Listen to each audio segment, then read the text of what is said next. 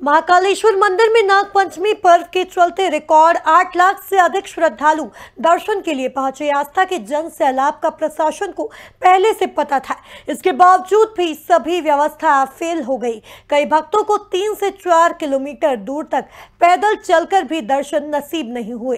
सुबह से ही विवाद की स्थिति बनती रही। हालात यह हो गई कि भक्तों ने लाइन में लगकर मुख्यमंत्री शिवराज सिंह मुर्दाबाद के नारे लगाना शुरू कर दिए। अव्यवस्था से नाराज़ विधायक पारस चैन मंदिर में धरने पर बैठ गए। श्रावण माह का सातवां सोमवार और नाग पंचमी का पर्व एक ही दिन आने से मंदिर में भक्तों की सुनामी आ गई। मंदिर समिति के अनुसार 24 घंटे में आठ लाख पचास हज़ार से अधिक भक्त दर्शन के लिए पहुँचे।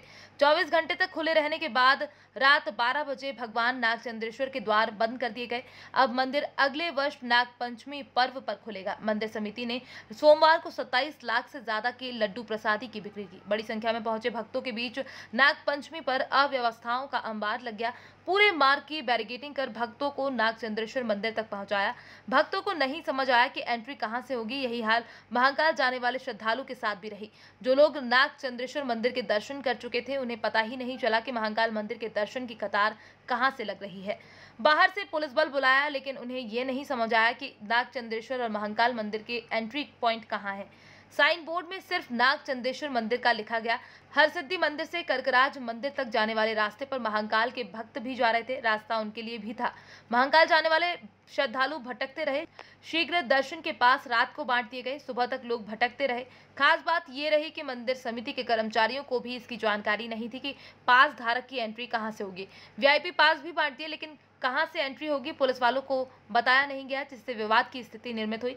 कई भक्त रात 12 बजे अपने चार पहिया वाहन से बड़नगर रोड पर बनी पार्किंग पर खड़े कर पैदल मंदिर पहुँचे क्योंकि वहाँ मुफ़्त चलने वाली बस नहीं थी। कई पुलिसकर्मियों ने श्रद्धालु के साथ दुर्व्यवहार भी किया। आज महाकाल की सवारी के साथ साथ नाग चंदे दोनों की भीड़ देखते हुए आज बहुत अत्यधिक भीड़ थी। लेकिन इनने कुछ वीआईपी व्यवस्था की थी और इन्होंने कहा था, आम लोगों को भी हमारे दर्शन हो जाएँगे। तो वीआईपी व्यवस्था में जो कार्ड दिए गए थे उसमें ऐसा लिखा हुआ था कि नरसिंह घाट के वहाँ से इन लोगों को जाने दिया जाएगा। लेकिन जब बाद में मुझे पास ग्यारह बजे, बारह बजे मेरे पास फ़ोन आए, वहाँ से भी किसी को इनने जाने की कोई वी व्यवस्था नहीं थी। मैंने अधिकारी से बात की थी, मैंने एस और कलेक्टर को कहा था कि आप बेगमपुरे के यहाँ से, बेगम बाग के यहाँ से इनको व्यवस्था में जाने दें और जो कार्ड मिले उनको वीआईपी दर्शन कराए? जब वहाँ जनता कार्ड लेकर खड़ी थी, मेरे पास फ़ोन आए। जब मैं गया तो मैंने देखा, बेगम बाग के वहाँ से लोगों को जाने दे रहे थे। लेकिन आगे जाकर फिर दर्शन के लिए लोग देते थे।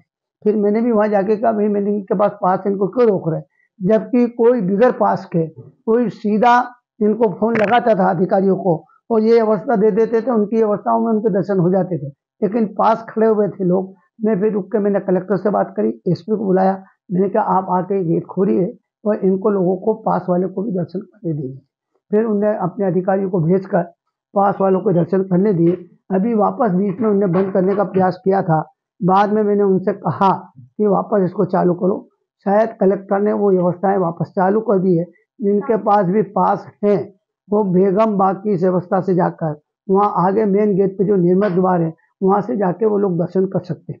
ये बात ज़रूर कि भीड़ ज़्यादा है, लेकिन व्यवस्थाएँ सुधारना अपना काम जब मुझे जानकारी पड़ी तो जनप्रतिनिधि के कारण मैं गया था, और मैंने अधिकारी से कहा कि ये व्यवस्था सुधारो, उन्हें इस व्यवस्था पर सुधार करा है मैं जितने भी प्रशासनिक अधिकारी लोग और जो प्रशासन के लोग लगे हैं, उनको मेरी ओर से बहुत बहुत बधाई बहुत बहुत शुभकामनाएँ। लेकिन आने वाली भविष्य कलेक्टर और इसमें से मेरा निवेदन है कि आप ये तो पास व्यवस्था पूरी तरह से बंद कर दें और यदि पास व्यवस्था करें तो उनकी व्यवस्थित व्यवस्था करने का भी कष्ट करें।